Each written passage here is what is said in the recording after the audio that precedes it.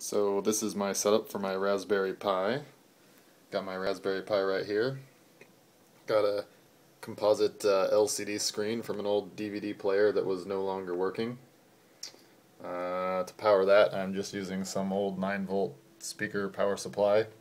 Uh, that's the controller for this DVD player uh, so I can change the input.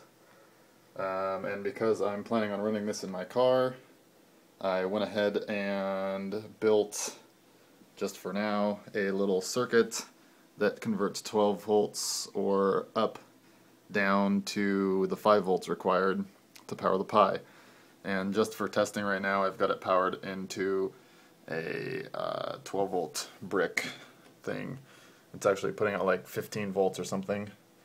But uh, we plug it in here, see the Pi powers up and boots.